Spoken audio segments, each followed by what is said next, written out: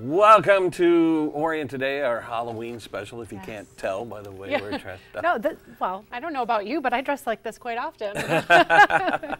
so I am Joe Johnson. I'm joined by Tracy Woodrum uh, of uh, Tea with Tracy fame. Mm-hmm. And uh, we're live on the air, and uh, Halloween yes. is right around the corner. Are you excited? It is. I'm very excited. yes, I'm. I love seeing all the trick or treaters as they come to my door, and sometimes I don't recognize the neighbor kids because they have great costumes. That's awesome. Yeah, I, I I've always loved Halloween my entire life, and you know it's tough when you become that teenager and you transition from trick or treating to giving out candy, and so I used to yeah. really embrace like decorating the porch and lights and the music and giving out candy. That was yeah. always a lot of fun. Yes. Well, you know what? I don't mind seeing the older kids come and trick or treat. I know yeah. some people feel like, oh, it should be for the younger kids, but why not? Let yeah. them have fun, be creative, dress up. If they're coming to my house with a costume on, you're getting candy. So yeah, there's a lot. All the teenagers are writing down my address right now. now, do you have a couple so, of full-size candy bars set aside? I I will go and get some. I did that last year as well. Yes, where I had the full-size candy bars. So if I know you and you see you, yes, you'll get the. I haven't been to a Halloween party in a long time. I used to go to Halloween parties all the time and. Uh, they would have costume com- contests, and I would win like every well, year. Yes, would, look uh, at you. Yeah, I got great. my Ghostbusters gear. I mean, yes. It's functional. Down to the details. You can catch all the ghosts. That's right. I'm a big movie prop collector, so I have a lot of replica movie props at home. So I have all the Ghostbusters stuff at home. So, That's and I love the movie. It's like one of my top ten favorite movies of all time. And I've been to the fire station in New York, which was Ghostbusters headquarters. Yeah. Uh, there's a hotel in L.A. where they catch Slimer in the movie. I visited that. Um, and earlier this year, I was touring uh, Sony Pictures in LA, and they have the Ecto One uh, ambulance oh. on display on the on the property of uh, Sony Pictures. So yeah. got to see that in person too. So very yeah, nice. Yes, awesome. that is so much fun. And yeah, I, the movie was just on because I know I, I turned on the TV and you know, my son was like, "What is that?" I'm like, "That's Ghostbusters." Oh yeah, you gotta introduce yes, them to Ghostbusters. Yes. That's a fun one. You know, if you have littler ones who want to watch a Halloween movie, that's a good one to pop in and watch. Yeah. Not too scary, even though it right. has its moments. But right. it came out when I was a kid. Well, you too. Yeah, so, yeah. yeah. so um, uh, obviously, Lake Orion has really, really gotten into Halloween. There's so many events over the past week or so, and they're all a lot of fun. Um, the first one we're going to talk about is the Boo Bash. So recently, uh, right here in the in uh, the Orion Center, uh, Orion Township Parks and Recreation has their Boo Bash, and luckily they uh, they lucked out with a beautiful night, so they were able to set up a lot of stuff outdoors, uh, games and trick or treating stations and uh, face painting. And one of the cool moments was uh, they bring the uh, Leslie Science and Nature Center in. They were in the Orion room and they had live bats and a scorpion and a salamander or wow. something. Um, and that's really neat to see those up close. And then, of course, a little hay wagon ride over to the Polly Ann Trail where they had a little uh, pumpkin patch set up. And uh, it's just a lot of fun seeing the kids all dressed up and picking their pumpkins and playing games. And uh, it's a really popular event. I was told that the day they started accepting registrations for the event, they filled the capacity. They wow. sold out. Um, it's one of the few events that the Orion Township Parks and Rec actually charges a fee for. Um, most of the events that they do are free to the public thanks to the Parks and Rec millage that mm-hmm. uh, will be on the ballot um, on election day. Um, but yeah, so uh, that millage allows them to have fun events all year long, and uh, this Boo Bash is one that I look forward to every every year. Uh, indoors, there's uh, cider and, and snacks and games and photo opportunities inside the Orion wow. Center. And does that not give you oh the creeps gosh, like seeing yeah, that I'm scorpion? not sure when like scorpions and bats. Ah. I can't. I don't think I have the guts to hold a scorpion in my hand. Uh, mm, yeah, I'm yeah, you. that gave me the heebie-jeebies. But uh, it was fun riding on the hay wagon, and uh, it's just a really, really good time. The Boo Bash is just a blast. I, like I said, I look forward to it every year. So. Um, yeah, so yeah. that was a fun event. Oh, looks great. And then uh, something else, a big event that happened just recently, uh, last weekend, the previous weekend, uh, the Motor City Comic Con returned to Michigan. Now, traditionally, the Comic Con was only held in the spring, and it was a okay. big, massive event. But due to COVID in 2020, uh, they couldn't hold their event in the spring. Uh, they ended up holding it in the fall. They did kind of a smaller scale version in the fall, and it was a huge success. Wow. So it returned in the spring, but now they decided, well, we'll do a spring one and a fall one to see how it goes. So this was their fall event up at the Suburban uh, Collection Showplace in Novi. And as you can see, just all kinds of costume characters, just yes. It was so much fun. There's celebrities there. There's Alice Cooper. Wow. Um, he had a long line uh, the whole time. I was there multiple days. Jamie Farr from MASH. You remember Klinger from yes. MASH? Uh, he's still as sharp as a tack, and people were happy to see him there. Uh, a lot of Star Wars cosplay, and I, I, personally really enjoy seeing the celebrities. I like going up and saying hi and getting autographs and stuff like that. So yes. that's a lot of fun. Um, but the work that a lot of these people put into their, their costumes is just amazing. Right. Really high-end stuff. A couple of cool vehicles were on display. There's some vehicles from Jurassic Park. And uh, a friend of mine owns this Munsters coach. This is a replica of the car that was on the Munsters. And uh, he brings that out uh, for Dream Cruise and uh, brought it out to the Comic-Con. Uh, look at that. I wow. mean, think of the, the effort that goes into. So there's a per, there's a person. there's there. a person wow, in there walking okay. the floor. Yes. There's Edward Scissorhands. Yeah. Uh, this one was really cool. This one was neat. So yeah, these people they really really get into it. There's a whole gaggle of Spider-Men, and uh, yeah, so that was that was a blast having that return to uh, Novi.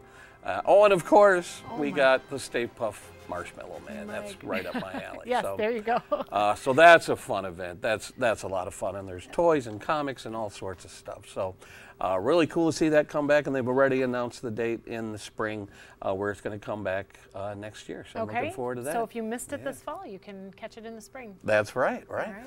So and then this past weekend man, there was a really cool event, not only in Lake Orion, but it was a joint event between Oxford and Lake Orion, and you're dressed appropriately for it. Yes. um, for the first time ever, Lake Orion took part in Oxford's Witches Night. Now, it's something that the Oxford DDA have, has been doing for a number of years, I think yes. since 2018. Um, but Oxford and Orion have been really making an effort to kind of partner up on events, and they have a trolley that shuttles people back and forth between the two communities, and yes. it seems to be working pretty it's well. It's a fun trolley. If you haven't have you had had an opportunity to ride the trolley? Yet? You'll see it yeah, in the yeah. video. Yeah, yeah, yeah, that's great. I've I've ridden the trolley. It's it's a lot of it's fun. It's pretty cool. Bit yep. of a throwback. And so in downtown Lake Orion, there are lots of women and a few guys who yeah. were dressed up as witches and warlocks, and there were a couple of little kids you'll see that were getting in on it. And uh, man, they were just having a great time. And the thing I love most about it is uh, Lake Orion and Oxford were both bustling. Mm-hmm. A lot of the shops stayed open late. Of course, the restaurants were open. And so you saw people eating dinner and shopping. And there's the trolley pulling up to pick up its passengers. Um, and uh, it's really great to see those downtown areas really bustling with activity. And, and there's, a, there's a shot inside. Yes. It was full of witches. Uh, oh. They had that trolley packed to capacity. And uh, there's a flying monkey. And oh. so now we're in Oxford, and uh, the activity in Oxford was double what it was in Orion. And it was right. good in Orion, uh, but in Oxford, uh, it was just witches as far as the eye can see. And uh, the Real Men uh, of Orion and Oxford campaign, where they raise money for cancer, yeah. um, they had their big inflatable pink chair in Oxford, so they were raising money that way. And uh, I think the, the priority, though, of this event is to encourage local shopping, local yes. dining, and yep. really support your downtown area. Yeah, so. I know it's an event that many women look forward to every year. Mm-hmm. Put it on the calendar, get the babysitters, and then get out. So yeah, yeah. What an fun. absolute blast. It was really, really neat. And um, and also, this was a few days ago, or I, I should say a week ago, uh, the DDA brought back their Halloween extravaganza. Now it's evolved over time. you may remember when it was a parade, yes, yeah. and it would start at the uh, the Eaman Center, mm-hmm. and work their way down Broadway Street. Well, of course, COVID screwed things up again, and so they they had to kind of adjust it a little bit, where they had a smaller space in 2020. Now it's pretty much confined to Children's Park, mm-hmm. but it's still a blast, and a lot of kids, a lot of families showed up. So, yes. have you ever taken part in it? Have you ever yeah, oh yeah. Back in the days, from the the parades on down, all of my kids used to. They loved it, looked forward to it. It was yeah. an event we could not miss. Yeah. So, I missed yes. the parade. It was a yep. really cool visual to see hundreds, if not a thousand, kids yeah. marching down the street. But the extravaganza is, is really it is cool. nice. They usually have donuts and cider yep. right there in the park, and it, it is a lot of fun. Yeah. So let's take a look at this news story to uh, look back on the extravaganza from last week, Wednesday.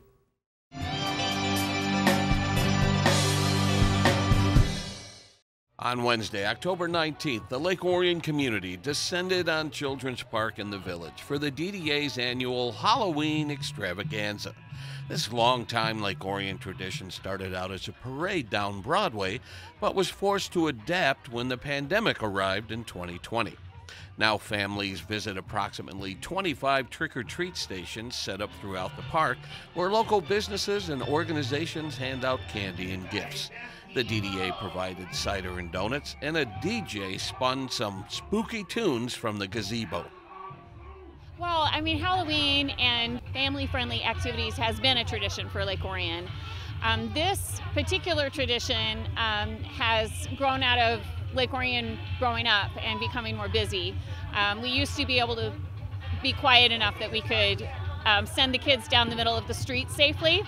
And, uh, and now it's not as safe to do that. So we decided to have them come and parade around in the park. And we've got arrows all over the place. Just follow the arrows. That'll help um, keep everybody moving um, smoothly. The community really came together to make this event possible with volunteers helping out, businesses donating candy, and of course, the sponsors. Yes, actually, we've got some students here from um, the local school district. They're here volunteering their time. We have a teal pumpkin. Um, teal pumpkins are for um, so that kids know uh, with allergies, they know that they can go there and get something that is safe for them. And then we did have some local businesses who donated the candy. I think it was Prime Time and Amazing Petals. They both donated candy, and we've got students handing out that candy for them. Um, we've got some new sponsors. We have Flip Spot, Gymnastics and Cheer, R&R Med Spa, um, and a, a classic um, Megan Spencer Berkshire Hathaway Key Realty. Um, we have Haney Farm Bureau, M&B Graphics, and Meyer and Lowe's Beauty Spa. So we have a lot of sponsors this year for this, and we're excited that everyone's here. Next up on the DDA's calendar is the Sing and Stroll tree lighting ceremony scheduled for Thursday, November 17th, beginning at 4 p.m. Sip some hot cocoa while enjoying performances by Broadway Dance Company and the high school choir ride in a horse drawn carriage, and of course, Santa and Mrs. Claus will make an appearance. For more information, visit downtownlakeorion.org. From Children's Park, this is Joe Johnson reporting for ON TV News.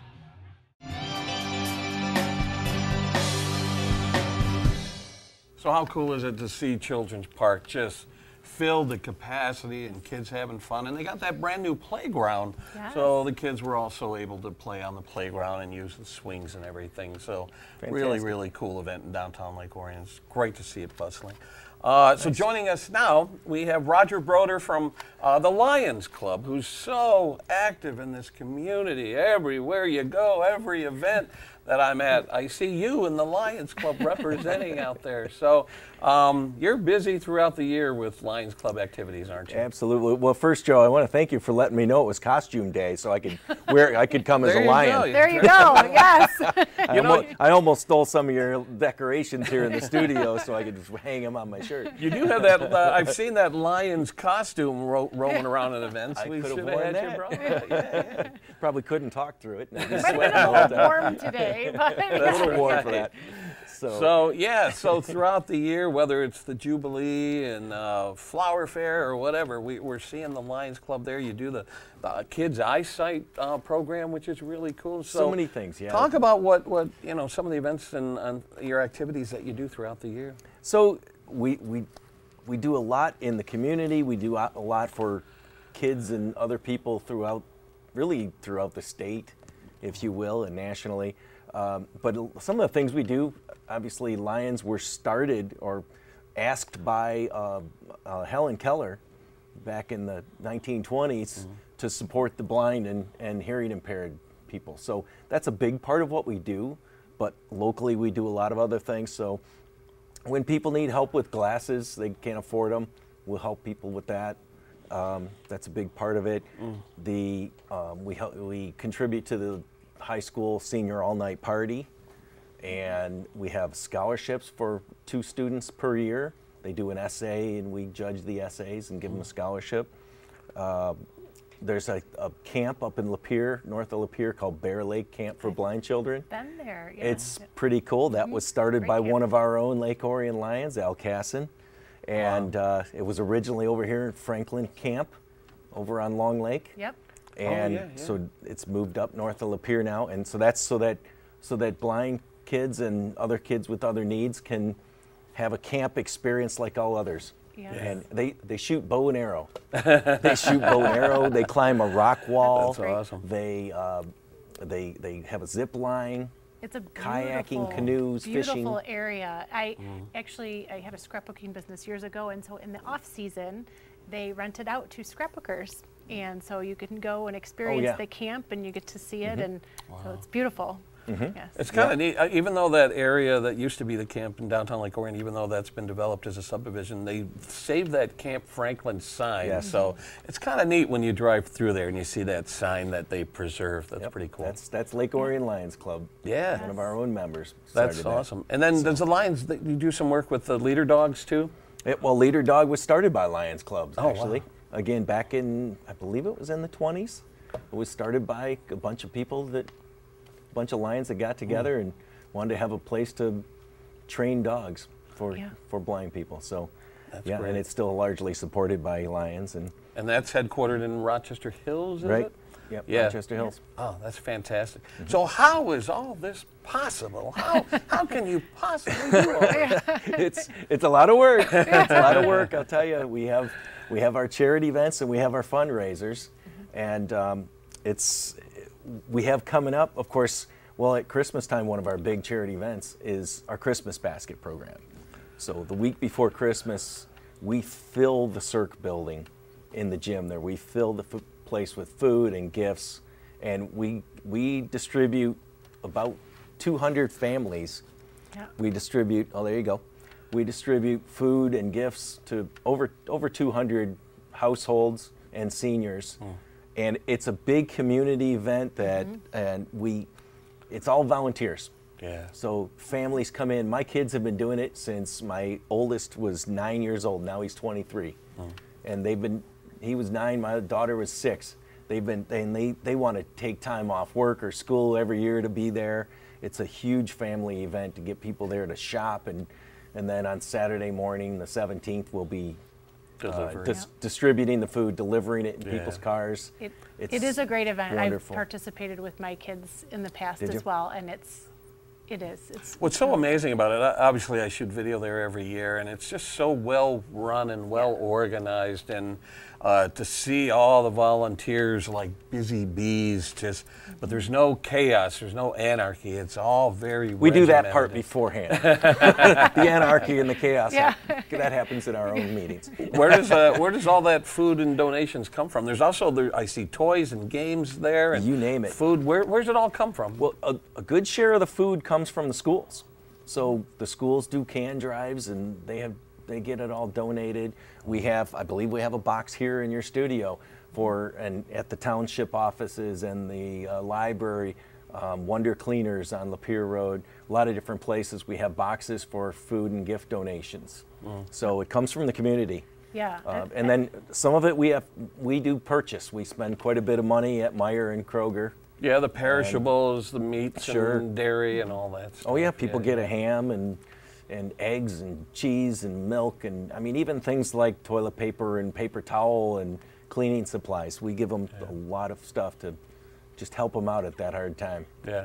Yeah, on one hand, it, it's sad that there are families in Lake Orion that need this service. Like Oakland County is one of the wealthiest counties in the nation, yes. yet there are still hungry families that mm-hmm. uh, need this service. But on the other hand, it's so encouraging that groups like the Lions are taking care of them and, yeah. and uh, for making sure. sure that they have a happy Christmas. Well, it's sometimes, just as you say, in a community like ours, those people are forgotten because that can't possibly happen yeah. in this place. Right. So we try to help those people. Yeah. That's that's one yeah, of our goals. It's great how you so. bring the community together to help the community. Yeah. So. Yeah. Now I kind of feel like I'm at Target because we have Halloween set up, but Christmas is right over here. And just in a week or so, we have a big event coming up. Uh, let's let's talk yep. about that. That's mm-hmm. this is this event that's coming up in a week or so is one of the main fundraisers for the Christmas basket, sure program. Is. Sure is, yeah. So November fifth, uh, we haven't had our auction in the last two years. Mm. Because of our favorite subject. and uh, so this time we're back at the Meloche dealership and we're happy to have their help every year with this auction. So we have our big dinner and auction November 5th, and that's one that's a big part of how we pay for all these different things we do, and especially the Christmas basket program. And so uh, come on out, go to the uh, yeah some pictures of some of the old auctions, nice. So uh, go to our Facebook page, Lake Orion Lions Facebook page, and uh, you'll see a flyer there in our events and buy some tickets. Mm-hmm. Uh, it's a great, fun night out, the dinner and the auction, and we have kind of a mediocre MC for the night. once again, they're going to give me a microphone. they, they, don't learn. Well, how great that you know Meloche donates the space to you, and you fill every square inch of it. And yeah. the the baskets, uh, part of the auction and, and the raffles are the baskets. Where do the baskets come from? All the donations and stuff? We, we have donate some of it we buy. Yeah. Some items we buy that we auction off, but a lot of it comes from the community, just giving us donations and helping us out in that way too. So you walk so, up and down. You, it's a silent auction for the baskets. Actually, right? we're changing it this year. oh, it's year. not Joe. a silent yeah. auction. yeah, we're, we're shifting things around this year. Okay. okay. It's going to be all raffles. All raffles. We're going to have right. a few uh, live items, but we're going to have all raffles this okay. year. So, a little different format. We've got a new caterer. Mm. You know, right. a lot of things are we're so just changing things around. If you haven't won a basket in the past, this is your year to do it. Make sure you get there to you the go. event. A lot of items for a lot yes. of items up for raffle that are really nice. Yes. So how does that work? So if I were to attend, do I buy a raffle ticket and then decide which item I want to place sure. it in? Is that how that works? Well, the, the goal is you buy many, many. Many, many. yes, yes, many. There's many options. I, have been to the event, and there are a lot of fantastic baskets. so you're going to want to buy quite a sure. few tickets because you're going to want to spread them around. Yeah. yeah. you can put you could you could buy yeah. 20 tickets and put them all in in the bucket for one item or spread them around however you want to do it. Depends on how bad you want that one right, item. Right. Yeah. and increase your odds. And so, so, later on in the night someone will pick we, up the container and draw a name and announce a winner that sort exactly, Exactly. And we also That's have exciting. other things. We have some some card card games. We have a, a board like a a square yeah. board of squares. There's a bunch of different opportunities to, to help us out and maybe win some money or a nice item. I know in the past, the, the most popular item, in my opinion, was a puppy. I used. I remember someone used to walk yeah. around with a puppy. Do you do that anymore? We did that for a while, but it's a, it's always that risk that somebody gets a puppy and maybe they've had you know, one or two too many, and now they have a puppy they bring home. they wake so, up the next day. Where did this come from? exactly. So, no, we're not going to have a puppy this year. Uh, that one's out. What a what a but, great event, though. Like I said, I've been there many many years in a row, and everyone's it, feels like it's the official kind of kickoff for the holiday season because really it's the first holiday themed event that I know I attend that I cover. So yeah, it's sort of the kickoff of the holiday season. Yeah, we have a we have a lot of fun that night. Yeah, yeah. So But then one of the other things we have coming up that I know you've been to, and it's a it's a big hit, is we go to the Pine Tree School. Oh yeah. And uh, we have a Christmas party for the kids there. That um, it, it just if that doesn't make you cry watching these kids in wheelchairs and yeah. you know some of them can't talk and mm-hmm. and we have Santa there, we have an elf there, we have Mrs. Claus, and we just have a have a party for them, and yeah. and they all get a little gift, and that is really a, a touching moment one yeah. of our events. So yeah, for those who don't know, what used to be Pine Tree Elementary School is now the Pine Tree Center, mm-hmm. and it's for primarily special needs kids, right? Yes. Right. And yeah, so to bring uh, Santa and Mrs. Claus to them and, and have a party, it's it's it's pretty special. Yeah. Where did you used to do that prior uh, to going to Pine Tree? Was it? Well, before it was before Pine Tree, when it was still an elementary school, we had a party at the Cirque. Oh, that's right. And so they would yeah. all come there. Yeah, it was yeah. the same event. It was just a little more difficult for them. That's right. Yeah. Now we all go to the to the one location, and that's it works fantastic. out really nice. Ah, what a what a great event. That's yeah. awesome. Yeah. And so, um, recently, fairly recently, within the last few years, the Lions Club revamped their website, so it's looking nice. So if people want to go to the website and either donate or see what's going on?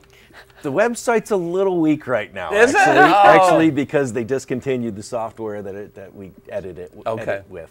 So is Facebook the primary, the primary Facebook way? is our primary okay. communication, or right. you can just email us at contact at lakeorionlions.org, mm-hmm. or we have phone number too. Yeah, it's yeah. On the, it's on the Facebook page. Awesome. I don't have it memorized. yeah. Facebook, but, I mean, social media really, Joe, that's where a lot is a lot is happening right now. Yeah, yeah, yeah. We, we had very So, little, very yeah. few hits on the website. It was mostly on Facebook, anyways. Okay. so Yeah, it's we'll easy to find. You can search up. So you search for the Lions Club, like Sure. Lions Club Okay. Lake Orion. I do see Yeah, a phone Lake number here, Orion Lions. 248 561 3203 That's- for yeah, you ticket can- information. For tickets for the auction, yeah, you Great. can call that number, 561 3203, 3203, um, yep. or contact at lakeorionlions.org. Okay. and Are we'll you still back to you. accepting any donations for the uh, for the raffle? For the event, not so much. I mean, we could we could always use some. You know, if there's some somebody has a condo up north or down in Florida or something, they want to ra- they want to auction off. Certainly, we Yeah, could yeah. use that. some big items to to raffle off or or um, auction off. Yeah, But yeah. um, but certainly, if you're looking for volunteer work, the Christmas baskets on December 16th and 17th at the Cirque. That's our best time. Families, individuals, we don't care. Um, the, Yeah. the football team usually comes over and helps us because some of us are old guys with bad backs, you know. And And students still need to earn service learning hours, right? Yes, What a yes. perfect way we, to. we sign a lot of those forms Yeah. that day. Yeah, That's they get a lot great. of, lot of So- time there. And, and also, if, if, if somebody's looking, you know, I, I know a lot of people are retired or don't have a whole lot to do while the kids are in school. We do we have a lot of events where we need members. Um, in the time Yeah. I've been a Lion, about 12 years, we've gone from about 50 members to over 100 now. We're about half men, half women. In fact, our president this year is a woman, Denise. Mm-hmm. Um, I'm a past president myself. So we have a, a big range of people from all walks of life. I don't know how many real estate agents we have. Well, and if your name is Jim, you're really welcome. Yeah. we There's have a lot six of Jims now. so what are the what are the requirements to be a Lions Club member? Um, just want to help people, really. Just give us a little bit of time, and we aren't strict like you must come to so many meetings or anything like that. It's you do what you can when you can. Yeah. Family is first, you know, work and family first, and what you help out when you can. So we Yeah. we aren't looking for a, a strict commitment. Just Just help the, Help. the desire to help people. That's all. That's great. So we Fantastic. really, it's just a bunch of people getting together. We have dinner a couple times a month, have a meeting, and maybe a drink or two, and hang out, try to figure out how to raise money and give it all away. And help the community. And by the way, 100% of what we take in goes back out. That's great. We don't have an admin budget. The, the admin budget is some raffles we do internally with our own money and things like that. But Yeah. anything that we bring in as donations goes right back out into the community. Did you mention the white cane? Do you, you guys do the Um, white good. cane? Right? We have white cane in the spring. Yeah. And coming up here, uh, actually the day after Thanksgiving, Friday and Saturday, and then the following Friday and Saturday, we will be on the streets with Goodfellow papers. There you go. Handing out, handing out the newspaper. All right. So yeah. looking for donations. So if you see the cones on the road, slow, Slow down. down, yeah. First of all, slow down. That's why we have the cones. Yeah. Yeah. But uh, we'll be in vests and look for us out there collecting donations for that. There you go. Hit That's the part of the- ATM, keep some cash on you, Yeah. and when you see these guys down the Day road, after you'll Christmas. have the, the money Black, in hand. Black to help Friday. them out. Black Friday. Don't There just you bring go. your credit Yeah. card, bring your cash. There you go. Roger, So- thanks for joining us, and, and thanks for all the good you, you and the Lions do in the community. Um, it's really great seeing you out and about. well, thanks, Joe. Yeah. Tracy, thanks for having us. Thank you, Roger. We appreciate it. And we'll see you soon. Uh, a tradition that we had going here at ONTV for a long time was uh, when Halloween would roll around, we would do karaoke, where our volunteers and producers would come in and, uh, and sing uh, karaoke songs live on the air. Uh, so we're going to do a little throwback to uh, one of those uh, karaoke performances from the past. Enjoy. Knew I'd moved in a haunted house. Still, I made up my mind to stay.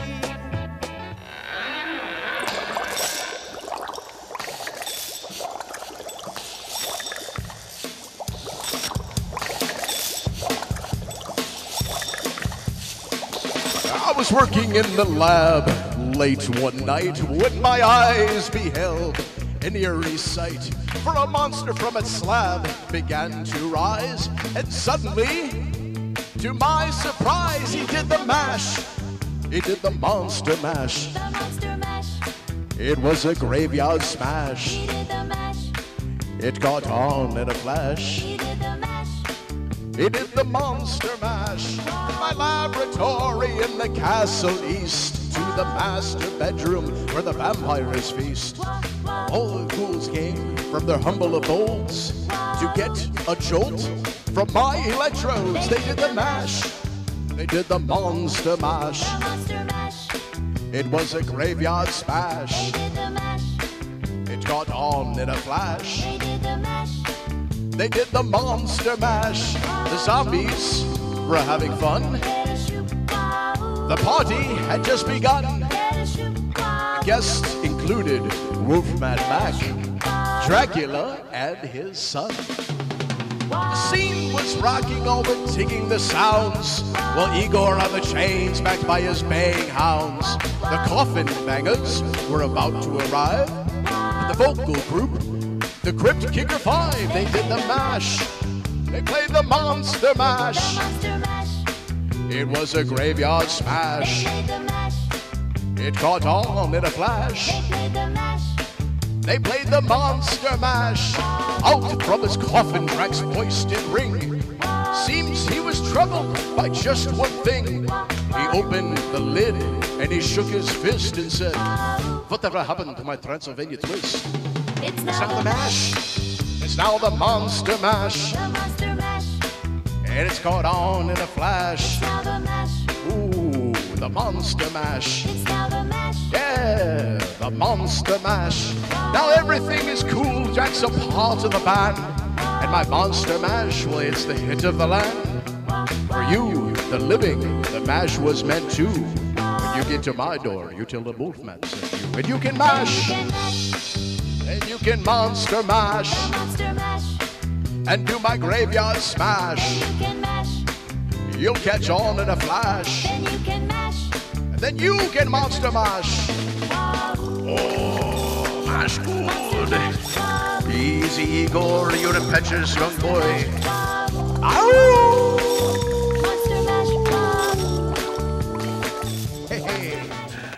So that I didn't realize that was the clip that we picked. That, that is a friend of mine, uh, Matt Kelly, and he's kind of pseudo famous. He for years he played a character on local TV uh, called Wolfman Mac, and he would host uh, horror movies and things like that, and come on, you know, during commercial breaks or whatever, and do little sketches. And he had a little sidekick called Boney Bob, who was a puppet. and he had a huge following, and he would make uh, live appearances at Halloween events and stuff. And we've even had him in the studio. We did a episode of his show uh, here in the studio, and we turned that into the ONTV Halloween Spooktacular, where we had some spooky sketches and skits and stuff like that. It was a lot of fun. That sounds like, a- well, that looked like a lot of fun. I think we should bring it back for next year. So, I would occasionally jump on stage. Yeah. I remember one year singing uh, Ghost Riders in the Sky as Johnny Cash. Uh, that was a lot of fun. So yeah, we may have to think about bringing that back. Yeah, that I was think that was a so. blast. Yeah. now speaking of Wolfman Mac in in uh, horror movie host, what are your memories as a young person growing up here in this, this area? Do you remember watching Sir Graves Ghastly or The Ghoul? Oh, I was not a scary movie person, so no, I avoided any scare, anything scary. So Oh wow. I liked the. It was fun to dress up and trick or treat, and you know the happy side of Halloween. But yeah. but the the scary side was not really uh, I, for me. Sir Graves Ghastly, who I think his real name was uh, Lem Dawson, I think was his name. He he used to commute from Cleveland here to Detroit, and he did his Sir Graves Ghastly show on WJBK, I think it was TV2, and I credit him with introducing me to all the classic Universal horror monsters like Frankenstein and Dracula and the creature from the Black Lagoon. I do remember though when his open would start, my little sister would run out of the room screaming. She he scared the heck out of Yeah. her. Um, but I always looked forward to that. That was always a lot of fun. And uh, I think it was like a Saturday afternoon or something is when he would come on and do his thing. And Okay. uh, if it was a rainy, gray day, then I would be inside watching Sir Graves Ghastly. And, and then in the evening, I think it was Saturday nights, we had The Ghoul. And uh, I was pretty young when The Ghoul was on, so I, I didn't really get to stay up too late to watch The Ghoul, but uh, he was enormously popular. And then later on, we had Count Scary. Do you remember Count Okay. Scary? And I I remember the Addams family. Okay. I know it's not really Halloween, but it reminded me of Halloween. Yeah, and yeah. I enjoyed that. I love the Addams Family and the Munsters, but Tom Ryan, who for years was on WOMC, he created a character called uh, Count Scary. And what he used to do is he would show old B movies and talk through them. Like he, he'd act like he didn't realize his microphone was on, and so he would badmouth the movie and the actors, and it would air that way. And kind of a precursor to Mystery Science Theater 3000, where the guy and his two little robots would talk through the entire movie. Uh, but Count Scary, Tom Ryan used to do that, and that was that was a blast. That was a lot of fun. did you have any uh, family Halloween traditions that you did? Was was did you go to any of the haunted houses or anything like that? Again, I was not scary. I, I know one time in elementary school, maybe middle school, my brother, my younger brother, was going with his friend and his friend's dad to a haunted house in Rochester, downtown Rochester, in the park. They used to put, you know, put this haunted house on. And I remember being so scared. I sat in the corner. I sat in the corner until they came and got me and led me out. so when I say I'm not into scary, that's just not my. Wow. I haven't yeah. been to one in a while. I do remember Independence Township used to have a really cool sort of a outdoor Halloween attraction, and Yeah. I, I remember like going through like a, a dark maze where you can hardly see anything, and I'm kind of feeling my way around. And then I put my hand out, and it's on the chest of like one of their creatures. It's like, ah! Oh yeah, no, no, no, no. Uh, I did that- several years ago. I went. Um, I think it was out to Blake's, and you take this Mm. hayride and paintball, you know, and Oh, wow. you know the the ghosts and stuff that are out there, and that was that was kind of fun. Yeah. So um, not scary. I did get talked into going to the into the haunted house again. I needed somebody in the front, but I just kept my eyes closed and walked through. That's funny. Out in uh, New Boston, uh, where my family lives out there, uh, their fire department, uh, their, their whole town would really get into Halloween, and their fire department would open up at night, and they would check candy, you know, do the x-rays, have cider and donuts and popcorn and stuff like that. I don't know if the Orion Township Fire Department does that. It would be really cool if they did, especially in the village. Um, And then on Halloween morning, I, I might, I've never seen this in person yet, but I might sneak down there. Uh, Blanche Sims Elementary does the long time tradition where all the kids are encouraged to wear costumes and they leave the school and they walk through the village of Lake Orion in costumes and show off their, their Halloween costumes. So maybe I'll grab a camera before, and do that. and that is That's really cool. Yeah. I remember doing that in elementary school. I grew up in Hamtramck and we would leave the school and walk around the block in our costumes and do a little parade. That was always Yes. a blast. Well, they do it at some of the other elementary schools as well. My kids went to Stadium Drive and would do weather depend weather dependent. It would be Yeah. indoors or outdoors, but it was always fun to see all the kids parade through. So And trick or treating hours uh, in the township and the village are 6 to 8 p.m. Mm-hmm.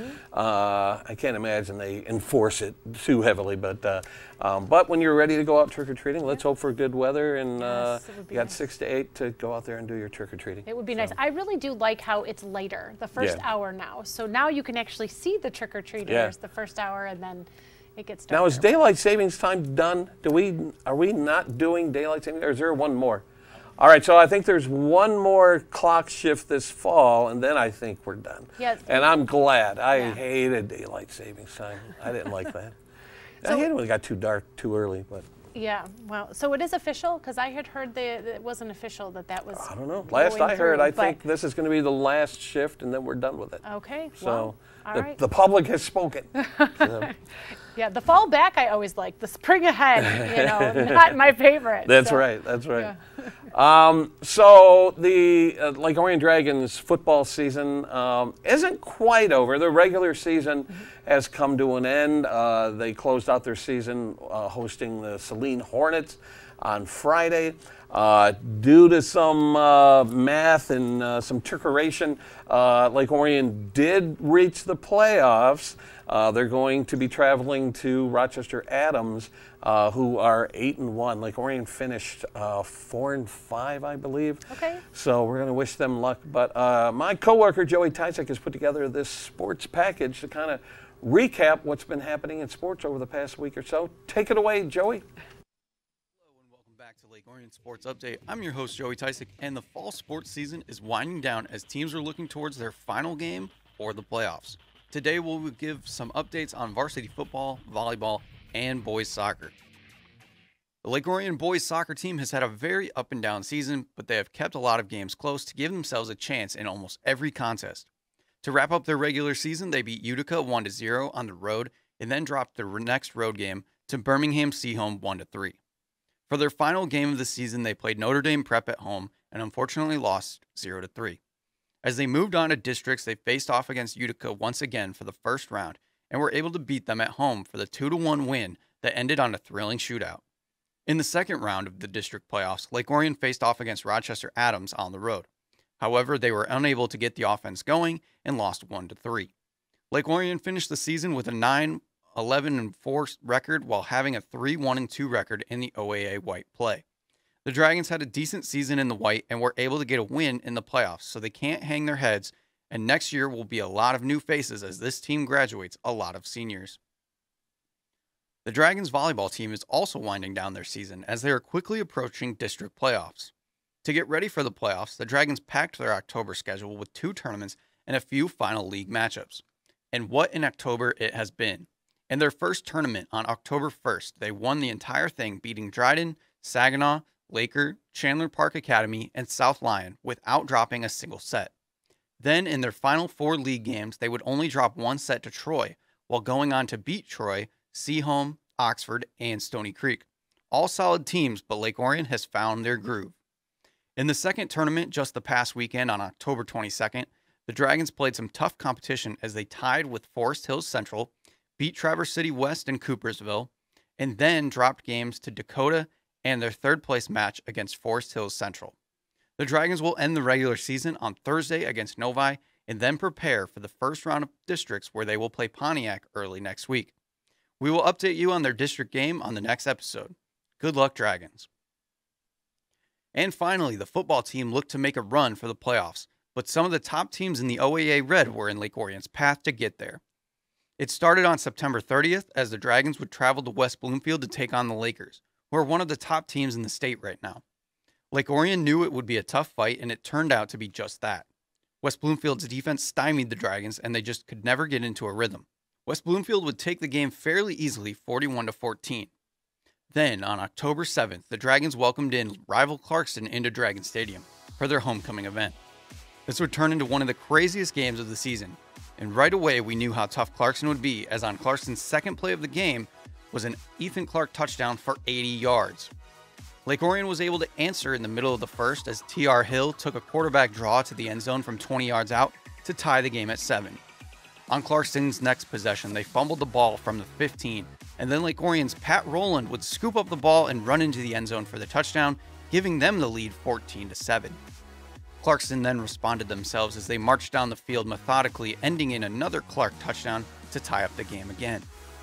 Early on in the second quarter, the Wolves would get the ball back, and on a quarterback bootleg, Clarkston would take the lead again 21 14 over the Dragons. Clarkston's defense got another stop and gave their offense another chance before the end of the half. Off a Wildcat play action pass, the Wolves were able to get all the way down to the 10 yard line and set them up for another score, this time from Desmond Stevens off a jet sweep. But yet again, the Dragons kept fighting as on their next drive, they got an 85 yard touchdown from quarterback T.R. Hill to bring them within one score of the Wolves. The half didn't end there. With three minutes to go, the Dragons would get a pick six from Caden DeFraffenry to tie the game at 28. I told you it would be wild, and with under two minutes left, Clark would find his third touchdown of the half, giving Clarkston the lead once again, 35 28. The second half would slow down just a little as both teams knew this was an important game. Lake Orion had a chance to score early on, but Clarkston was able to cause a fumble and take the possession away from the Dragons. Clarkston then marched down the field, but Lake Orion made a huge stop as Clarkston went for a fourth down to try and put the game away. This would lead us to the fourth quarter where the game felt like it just started. Lake Orion stopped Clarkston and forced them to punt, but the Wolves pinned Lake Orion on the one yard line and were able to break the Dragons' offensive line and tackle them in the end zone for the safety, giving them two points and the ball. And Clarkston didn't waste that extra possession as Ethan Clark got another touchdown for his fourth of the game, and that drive put him over the 400 yard mark on the ground. After going for the two point conversion, the Wolves took the 45 28 lead with six minutes to go. The Dragons had a great drive that ended with a TR Hill pass to his brother Dorian for the touchdown with four minutes left in the game, bringing Lake Orion within 10 points of Clarkston. Then, on the ensuing kickoff, the Dragons went for an onside and they got it to get the ball right back. Clarkston's defense responded, but Lake Orion was able to get a 39 yard field goal attempt to bring the Dragons within seven. However, the kick came up just short with three minutes left in the game. Using their timeouts, Lake Orion was able to force the Wolves to a three and out, allowing the Dragons to get another chance with two minutes left to go. And then, with one minute left, Billy Roberson ran into the end zone for the touchdown, bringing the Dragons within four, as Lake Orion would miss the extra point. They would have to go for another onside kick and hope for the miracle. And Lake Orion did it again, getting the perfect bounce and catching the onside. Unfortunately, on the third play of the drive, there was a high snap that made it tough for TR to grab, and he fumbled, which was recovered by Clarkston, ending the game 45 to 41. Although the Dragons lost it, was an instant classic for these two teams. The following week, the Dragons traveled to North Farmington, and Lake Orion needed to win to keep their playoff hopes alive. And Lake Orion got it done as Lake Orion defeated North Farmington 42 7. For the final game of the season, the Dragons would be at home against a tough Saline team who has quarterback CJ Carr, a five star recruit that is already committed to Notre Dame. Saline had lost two in a row entering the game, but Saline looked like they were not happy with those losses, as their offense was clicking from the jump. Lake Orion fought hard, but Carr was on point with his passing as he accounted for four passing touchdowns and two rushing touchdowns in the game, leading Saline to the 49 21 victory over the Dragons which would lead Lake Orion on the bubble of making the playoffs and having to wait for Selection Sunday to find out if they had made the cut. Thankfully for Dragons fans, Lake Orion will get another chance as they got a playoff bid this week against Rochester Adams, a team that Lake Orion is familiar with and I'm sure would love another chance at. Good luck, Lake Orion. On the next episode, we will update you on the volleyball and football teams' playoff games as they look to keep moving on into the postseason. For even more Lake Orion sports, check out our YouTube channel for our full game coverage. Visit youtube.com and search for Orion Neighborhood Television. Also, make sure to catch all of our replays Tuesdays, Thursdays, and Sundays at 7 p.m., along with Saturdays at 1 p.m. We'll see you next time.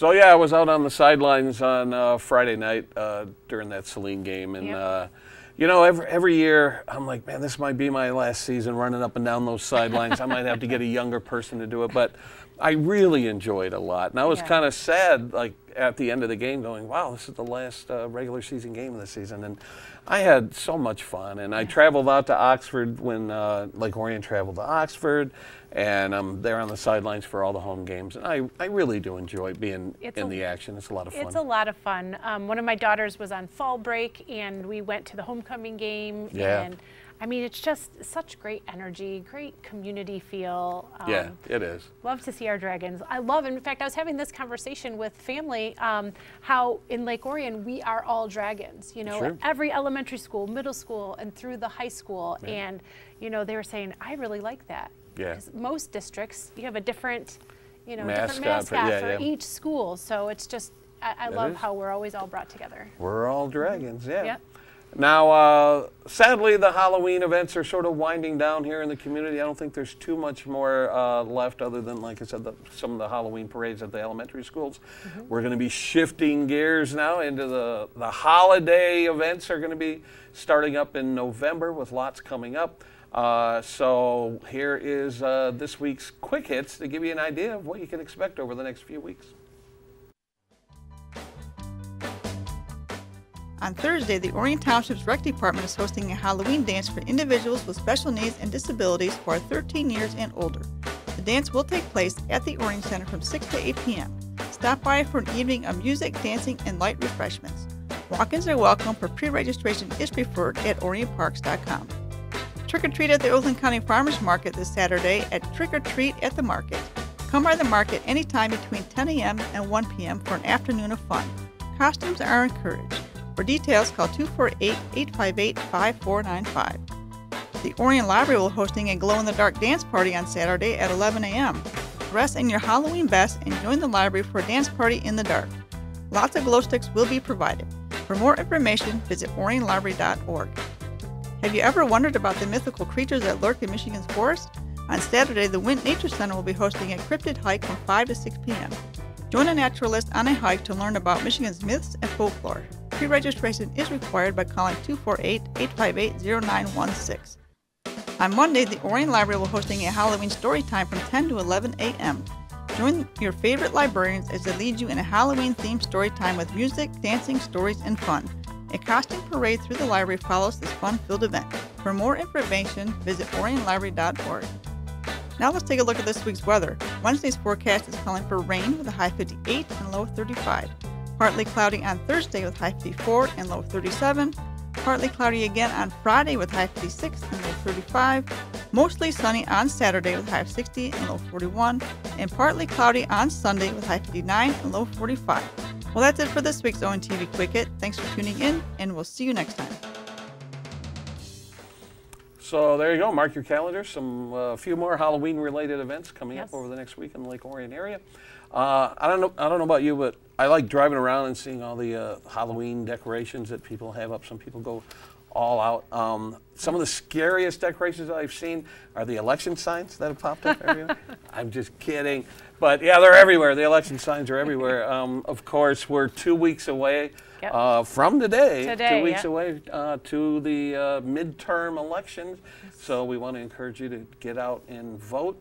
Um, it's, this is a big one. It it's is. a big one. Yeah, there's there's a lot on the ballot this year. So if you uh, if you haven't been getting your information, um, there's websites. I know at the township offices they have a great newspaper put on by the the League of Women Voters, Voters. yeah, Um, has information on everything Oakland County. Every that's going to be on every ballot. And Yeah. uh, yeah, of course you can tune into Tea with Tracy. You can get There some, get some information as well. some people. Penny was on your Yes, show I, recently, yep, right? I've had Penny, Aaron Watley, um, Heather Sin. Sanawi? Sanawi, yes, Yeah, I know. yeah. I was like, yep, Sanawi. Um, yeah, I, and uh, Donnie Steele, and then I'll have Chris Barnett on next week. So Okay. just talking about um, what these different positions do, what the millages are about.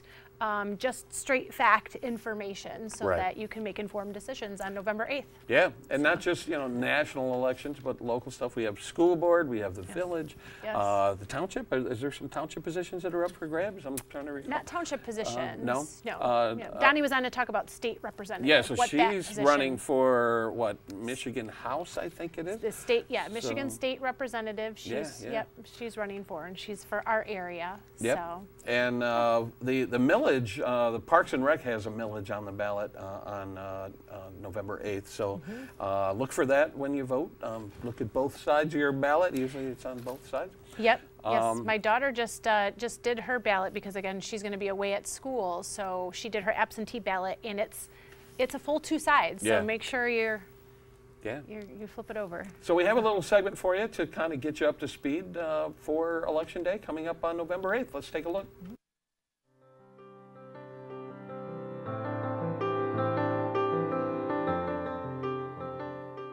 Hi, everyone. I'm Penny Shults, your Orion Township Clerk. Tuesday, November 8th, 2022, is the general election for the purpose of electing federal, state, and local representatives and for voting on state and local proposals. Due to the number of candidates and proposals, a two sided ballot is necessary. Please remember to vote both sides of your ballot to ensure your voice is heard on all levels. Polls will open at 7 o'clock a.m. and remain open until 8 o'clock p.m., and all voters will vote at their regular polling location. Please review your voter ID card to confirm your polling location, as all voting precincts were moved out of the Lake Orion Community School Districts starting in 2022. You may also visit www.411votes or scan this QR code to find your new permanent polling location. Additional voting information is also available by visiting the Secretary of State's website at michigan.gov backslash vote for precinct information, sample ballots, and proposal language or candidate information. Please note that Thursday, October 24th, is the last day to register to vote or change your address for the November 8, 2022 general election. All Orion Township precincts are handicap accessible. In compliance with the voting accessibility requirements of the Help America Vote Act, voting instructions in an audio or braille format are available to voters prior to the election or at the polls on election day. Please feel free to contact me anytime if additional information is needed at 248 391 0304 or PSHULTS at oriontownship.org. Trained election inspectors will answer questions about the voting process at your precinct on election day, or you may wish to contact the clerk's office in advance of the election at 248 391 0304 with questions or concerns. It's my goal to equip every voter with the information to assist them in the voting process. Absent voter ballots for the November 8th, 2022 general election are available at the Orion Township Clerk's Office. To obtain an application for absent voter ballots, please call 248 391 0304 or come to the clerk's office, which is located at 2323 Joslyn Road between the hours of 8:30 a.m. and 4 o'clock p.m. Monday through Friday. The last day absent voter ballots can be mailed to you is Friday, November 4th.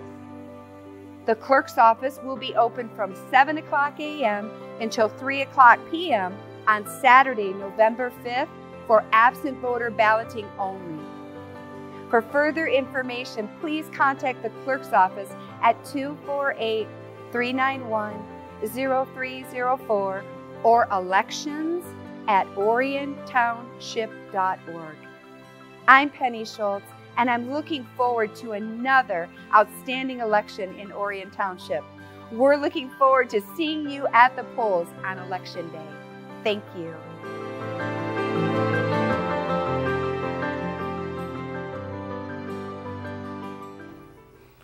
Thanks, Penny. That's great information and uh, time to wind down Orion Today. We'd like to thank the Balanickies for this beautiful set and Yes. Tracy um, for giving us this Halloween uh, themed set today. It looks awesome. And uh, thank you for watching. And Tracy, thanks for joining me. Thanks for Uh, having me. We will not be live in two weeks uh, on Election Day, but we'll be back soon after that. And make sure you get out there to vote on November 8th. Absolutely. All right. Thanks for right, watching. Thanks. Bye bye.